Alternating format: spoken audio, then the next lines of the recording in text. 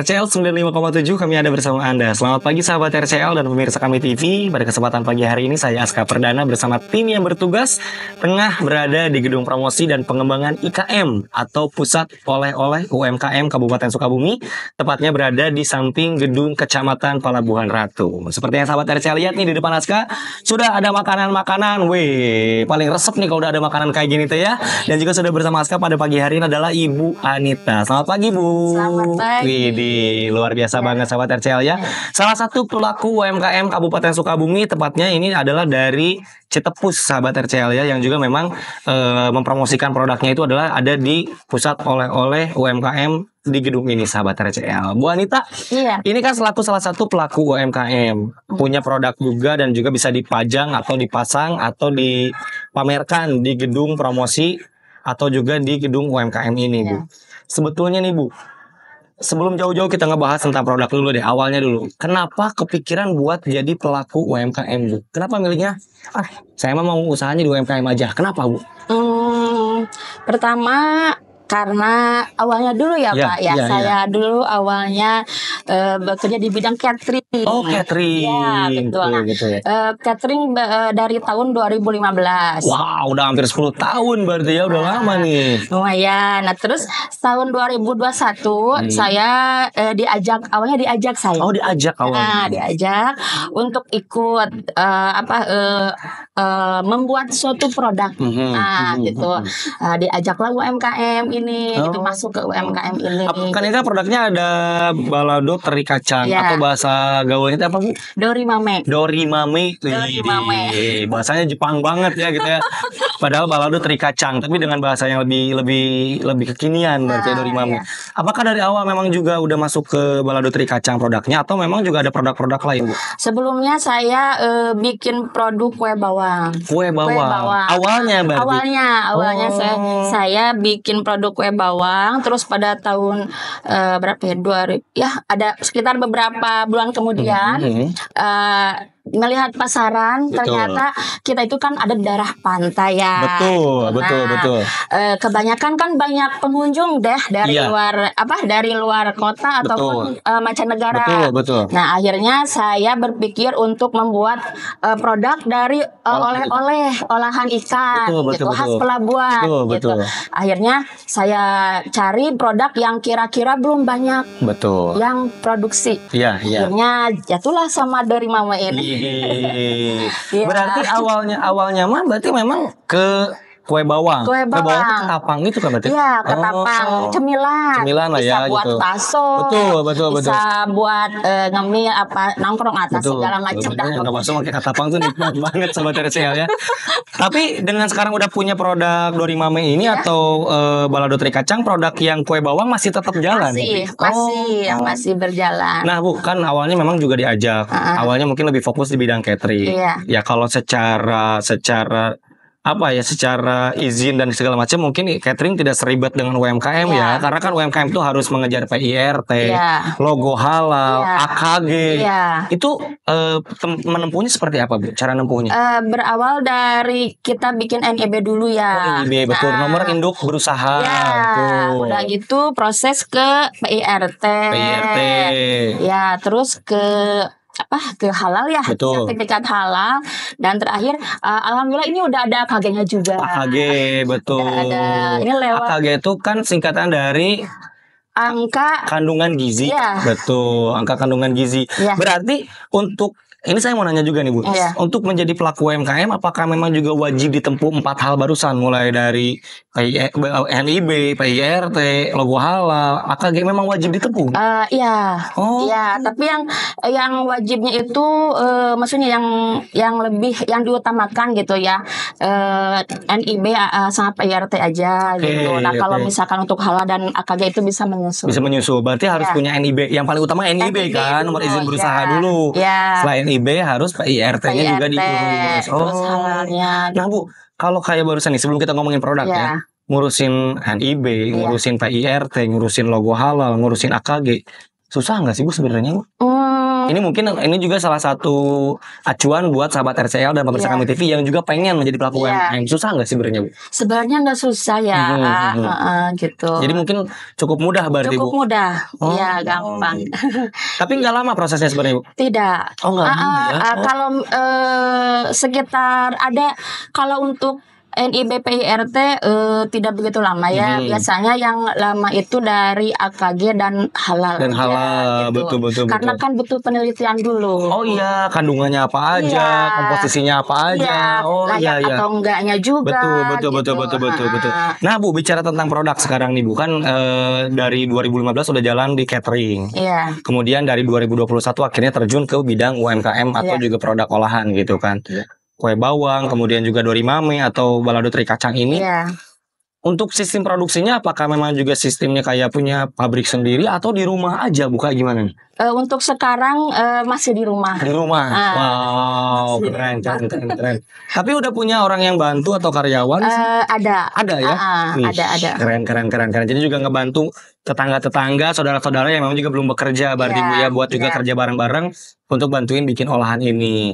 Nah, kalau kayak kue bawang, kemudian juga dorimame ini, Bu, kan ini makanan ya dan makanan itu kan memang juga bisa dikatakan cukup riskan ah, karena ada iya, juga betul. masa expirednya nggak seawet kayak kita jualan eh apa ya kayak craft Ah, atau pakaian itu kan nggak ada expirednya ya Iya. Nah Bu, mengantisipasi untuk tidak terjadi expired, eh kan harus kita memasarkan produknya cukup besar ya, Iya. gitu kan, jangan sampai tertampur, tertampung atau tertahan terlalu lama gitu kan. Kalau buat pemasarannya sendiri kayak gimana Bu? Dijual ke teman-teman kah? Atau misalkan sudah punya distributor atau koneksi tertentu? Atau misalkan dijual di gerai-gerai atau kayak gimana? Bu? Eh, kebetulan eh, bisa lewat offline dan online juga Oh, ya. ada di online juga. Ah, Oke, gitu. oke, Kalau oke. misalkan untuk offline saya jual di toko saya sendiri, di Mhm. toko saya. Terus yang kedua udah masuk Jogja juga, Jogja Wih, Pelabuhan Ratu. Ya, Keren. dan tentunya di sini di Betul. gedung IKM promosi dan pengembangan ya. Betul sekali. Iya. Oh, jadi memang juga sekarang udah ada di Jogja juga, Iya, di toko di- juga ada, ada, di iya. online juga Online bisa. juga ada. Oke oke. Ini kalau buat range harga nih bu, Ah. mulai dari berapa rupiah harganya? Eh, untuk kemasan ini saya jual dari harga 20.000 ribu. Dua puluh ribu. 20.000. Wow.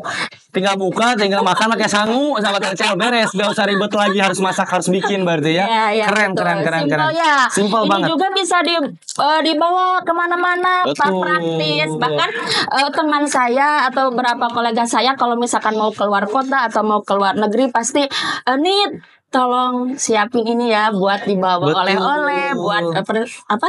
Buat eh, bekal Betul, juga betul, selama betul, betul. perjalanan atau gimana karena ini cukup praktis. Nah betul, jadi memang juga kan kalau kita biasa bawanya di misting gitu ya, Ya. di Sibahe gitu ya. Kalau di sini mah nggak akan tumpah sahabat RCL karena memang juga kemasannya cukup menarik dan juga sudah kekinian. Nah ngomongin kemasan bu, Iya. Ini proses pengemasannya sendiri mulai dari kayak kemasannya seperti apa, kemudian juga kayak bikin stiker, Iya. itu bikin sendiri atau kayak gimana bu? Eh, ada yang bikin. Ada yang buatnya juga. Iya. Kalau kayak kemasannya gini kan mungkin eh, dipesan di online juga Iya, bisa ya iya, gitu kan. iya. Nah kalau untuk kayak si stikernya sendiri ini kayak gimana buat ibu? Ini sih yang bikin desainnya siapa? Eh. Apakah memang juga kan ini eh, sudah model kekinian ya, Iya. sudah difoto bagus? Ah. Itu memang sama sendiri atau gimana bu? Eh, enggak, kita pesan nanti mereka yang mendesainnya, Oh. terus diperlihatkan sama saya cocok atau enggak. Iya, oh jadi kita punya Iya, sampel. Ini iya. fotonya kayak gini, Iya, cocok atau enggak? iya, berarti. gitu. Keren, keren, keren, keren. Mm. Nah Bu, ini mungkin saya pengen nanya juga tentang tips dan juga trik untuk eh, sahabat RCL dan pemirsa kami TV yang memang juga baru mau mulai berniaga Iya. menjadi seorang pelaku UMKM. Karena kan tantangannya banyak Bu ya Iya. gitu kan. Selain juga memang sekarang modal yang memang harus ada. Kemudian kan sekarang persaingan nih Iya, Bu. mentalnya juga. Mental juga persaingan lah kita katakan. Produk kayak gini tuh banyak, Iya. bukan cuma milik kita aja berarti Iya, kan. Orang iya, lain juga mungkin punya produk yang serupa gitu Iya. kan. Tapi triknya atau tipsnya untuk tetap bisa bertahan, bisa struggle untuk terus bisa mengembangkan usaha itu kayak gimana, Bu?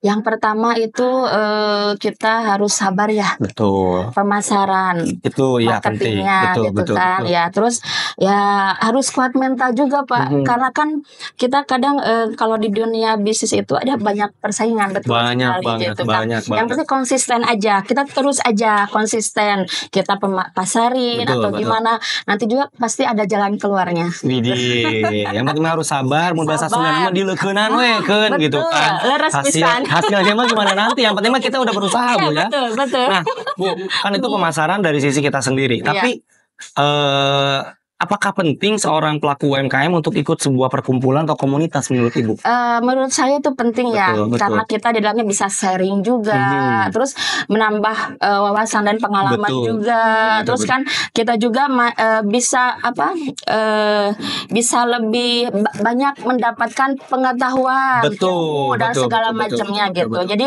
banyak banyak hal positifnya dalam Mhm. sebuah itu Nah, kalau Ibu sendiri ikut tergabung dalam perkumpulan atau komunitas apa aja Bu di UMKM ini, Bu?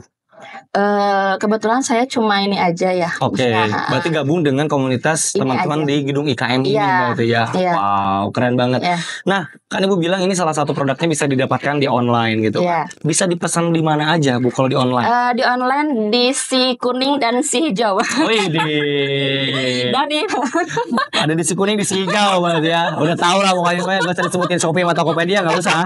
Gak usah dikasih tahu ya. udah pada tahu Udah pada tahu pasti gitu kan. Apalagi kalau di sana banyak promo-promo soalnya gratis ongkir segala macam. Itu kalau di si kuning dan di si hijau nama tokonya apa, Bu? dapur kepo Dapur Kepo. Iya D A P O E R eh, K E double P ya O. Oke, Dapoer Kepo, Kepo, P-nya ya. dua. Wow. Nah, kalau bicara tentang sedikit nih Bu penghasilan, sebetulnya sampai di hari ini lebih besar penghasilan di offline atau di online sebenarnya Bu? Eh, kebetulan untuk sekarang ya eh, kebanyakan di offline ya. Iya, karena mungkin juga Ah. teman-teman pada pesen, Iya, berarti ya. gitu. Oke, berarti juga kayak bikin status WA itu penting, Iya. berarti. Hari ini ready nih, kan kalau gitu ya. Iya, Kalau untuk anda gantung gitu hari ini ready ya guys. gitu.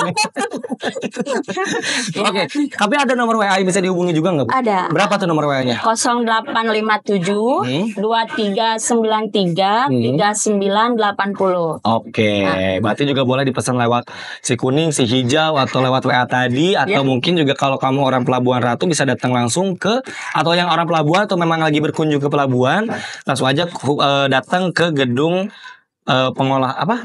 Gedung promosi, promosi dan pengembangan IKM atau gedung oleh-oleh khas Pelabuhan Ratu yang ada di samping kantor Kecamatan Pelabuhan Ratu. Bu Anita, Dan juga ke Jogja.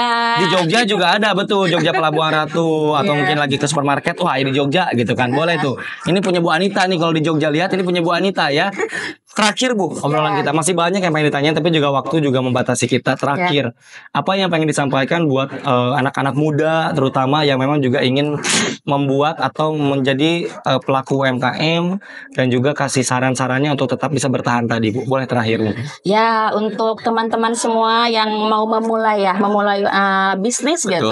Jangan ragu-ragu. betul Jangan ragu-ragu, kita mulai aja dari tekad, dari Nah, niat itu ya, gitu. dulu Ah, ya benar. Nanti kalau misalkan itu proses aja jalani aja. Kalau untuk masalah modal ya, eh, saya juga ini modal dari dari sedi- dari apa dari kecil. Oh iya betul, Iya. karena nggak mungkin tiba-tiba sekian nggak Ah, mungkin jadi ya. jangan takut ah saya nggak punya modal jangan jangan dulu berpikir seperti Hmm, itu hmm. kita punya niat laksanakan aja dulu Iya. prosesnya jalani jalani jalani gitu Wih, luar nanti biasa. lama kelamaan kan akan ada perputaran perputaran Nah itu udah kalau gitu. kalau kalau penghasilan dari eh, produk mah kita akan selalu muter Iya, ya. asalkan kita betul. punya niat dan punya tekad yang memang juga harus Terus- direalisasikan Nah itu jangan cuman jangan cuman imajinasi imajinasi tapi nggak ada realisasi yang nggak akan pernah beres ya bu ya. Iya, betul. Waduh, tapi Bu Anita makasih banyak kalau udah ngobrol sama kita. Semoga sukses Sama-sama. terus, semoga semakin produknya banyak, semoga juga semakin sukses, semakin laku juga dan Amin. juga sahabat RCL dan pemirsa kami TV. Jangan lupa tadi langsung dipesan di si kuning, di si oranye langsung ada di Dapoer Kepo. Langsung aja di search dan juga dicari kalau kamu pengen belanja produk dari Bu Anita ini. Bu Anita makasih banyak waktunya. sama Juga sahabat RCL dan pemirsa kami TV juga terima kasih banyak waktunya. Yang jelas saya SK Perdana dan tim yang bertugas juga mengucapkan terima kasih. Dan sampai jumpa di lain kesempatan.